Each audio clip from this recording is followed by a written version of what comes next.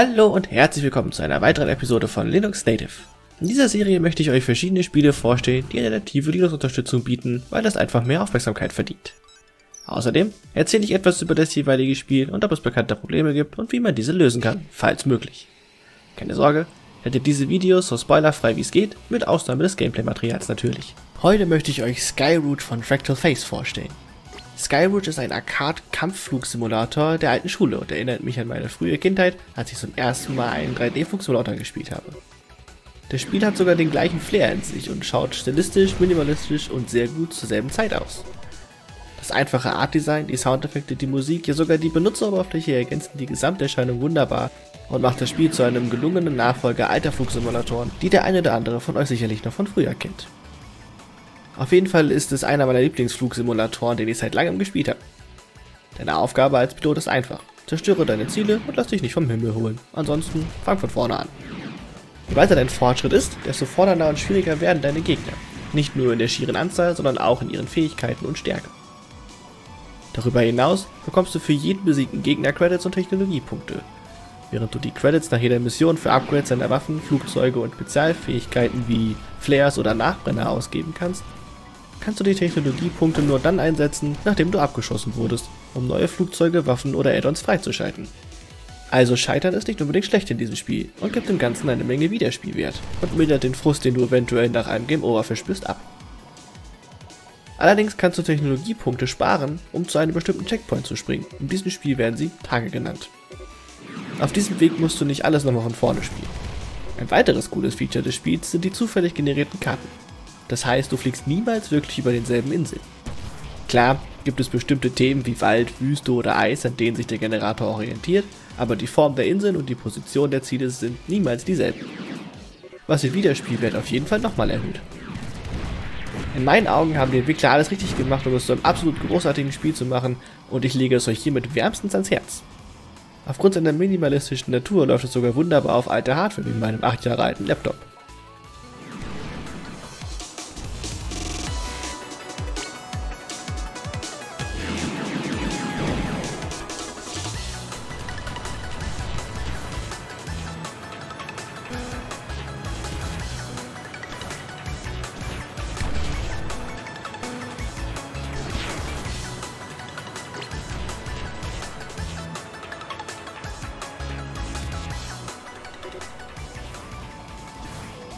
Außerdem empfehle ich es mit Gamepad zu spielen, weil es einfach angenehmer ist.